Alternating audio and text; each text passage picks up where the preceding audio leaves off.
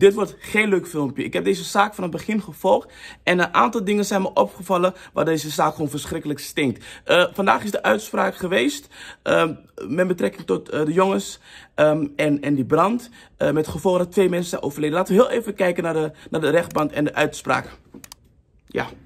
Op 1 januari van dit jaar waren de jongens 12 en 13 jaar oud. Nu zijn zij 13 en 14. Zij zijn kinderen. En dat zij kinderen zijn en zich als kinderen gedragen, heeft de rechtbank gezien op de beelden van wat er is gebeurd en ook tijdens de zitting.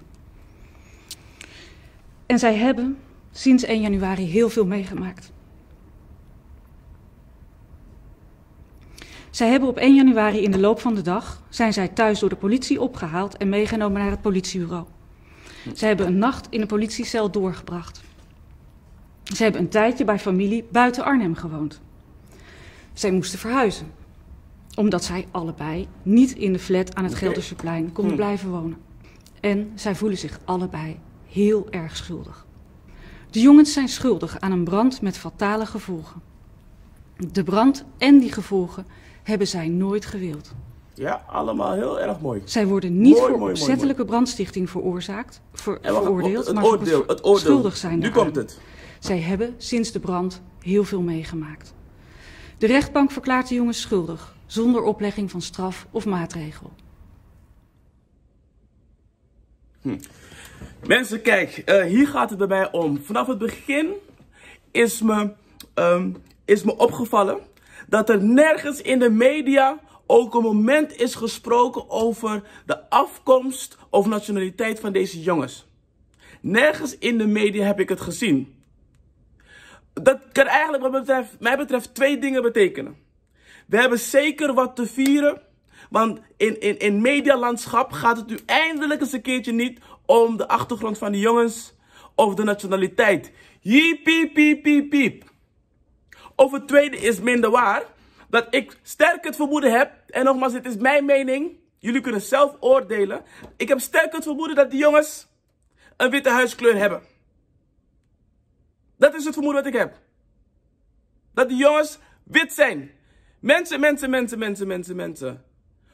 Geen straf. Geen straf. Ik ben van mening. En, en laten we die discussie maatschappelijk aangaan. Tot in de rechtbanken wordt de hand boven witte kinderen gehouden. Van jongs af aan is die bescherming aanwezig. Dit is overduidelijk het bewijs. Waren het jongen van, van, van, van, van zwarte afkomst of misschien een ander, weet je, afwijken naar... Geen straf. Geen straf. Hoeveel zaken zijn er dan niet geweest? dat de coulance moeten worden getoond met, die, met, met jongeren van, van, van zwarte afkomst. Nee hoor, hard op hard, hard op hard. Harde veroordeling. En deze kinderen, die komen er weer weg. Twee mensen zijn dood. Met alle respect. Het zijn alleen maar slachtoffers in deze situatie. Het gaat mij niet zozeer om dit, dit geval. Alle betrokkenen hierbij, iedereen heeft verdriet. Maar wat om gaat is het systeem. Die witte mensen altijd, altijd een stapje voorgeeft. Het is mijn mening. Nergens in de media lees je over de nationaliteit van deze jongens. Ik, ik denk oprecht dat we uh, uh, um, iets te vieren hebben. Want recht, de rechtbank Nederland heeft, heeft absoluut.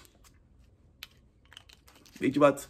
Uh, we, gaan, we gaan gewoon lekker aan de champagne. Want witte privilege heeft wat mij betreft. absoluut gezegevierd. Mensen, witte privilege geserveerd op een gouden dienblad. Ik ben er helemaal klaar mee. Mijn mening.